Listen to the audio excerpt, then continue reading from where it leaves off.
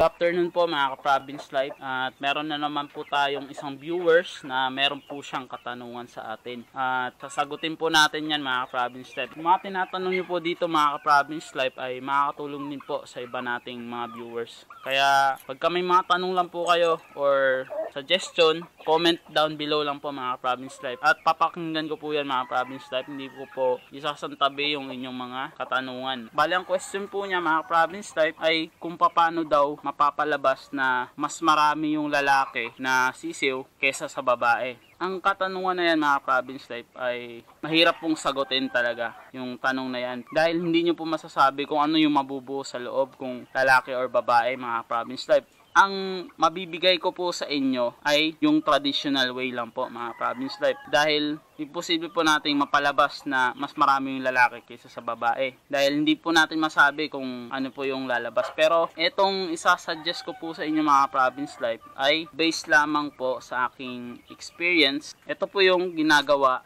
ng tatay ko. Kasi yung tatay ko mga province life ay nag-aalaga po siya ng manok panabong. Kaya ang gusto niya, puro lalaki yung lumabas sa kanyang mga sisiw. Bali, tuturo ko po sa inyo yan mga province life kung paano ang gagawin. Bali, traditional way lang po ito mga province life. Bali, ito po, sasabihin ko na. Ang gagawin po para puro lalaki yung lumabas sa inyong mga sisiw ay pakain nyo po sa inahin yung palong ng rooster. Ayun po mga province life. Ganon yung ginagawa ng tatay ko mga province life. Ito pa yung traditional way po lamang mga province life. Hindi po siya proven na lalabas talaga ay lalaki. Pero okay na rin po yun dahil wala naman pong mawawala sa atin if gagawin natin. Bali, ang gagawin po, kinakat ng tatay ko yung palong, tapos puputol-putulin niya po yan, tapos ipapakain po niya yan sa rooster, then hindi lang po sa rooster pinapakain mga province life, pati po sa inahin, para mas maraming lalaking sisiw ang maproduce ng inahin. At isa pa pong scientific way mga province life, pagka pinakain nyo po sa rooster, yung palong niya ay tatapang po yung rooster.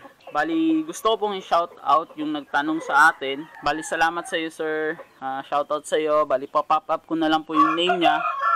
Tsaka yung katanungan niya po mga province life. Ayun po mga province life, yung traditional way para mas maraming lalaking sisiw yung lumabas kesa sa babae. At hindi ko po alam kung sa ibang lugar, ganun din po yung ginagawa ng mga breeders. Ayun po mga province life, ayoko naman pong tapusin yung video na hanggang dito lang.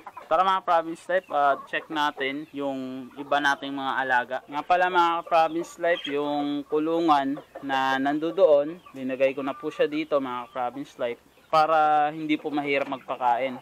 Saka mga province life, para din po makagawa pa tayo ng isa pang kulungan para may space po. Kasi yung ating area mga ka-province life ay sobrang liit lang po. Kaya minamaximize ko yung ating area. Ayan, pagka merong mga ikukulong, kinukulong ko na lang po para hindi tayo mahirapan. At kamustahin naman po natin mga ka-province life yung ating rooster na nandito.